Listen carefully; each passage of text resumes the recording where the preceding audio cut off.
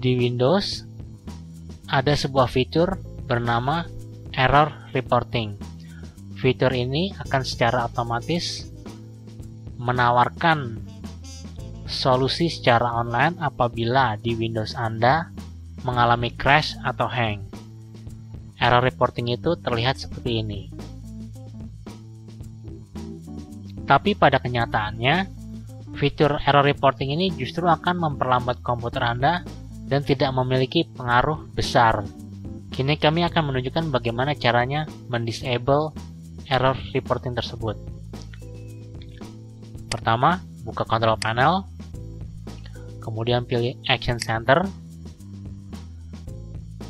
lalu pilih Change Action Center Setting.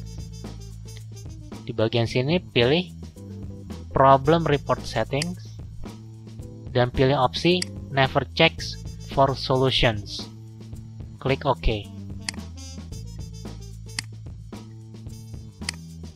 Sekarang, apabila terjadi error, maka fitur tadi tidak akan muncul.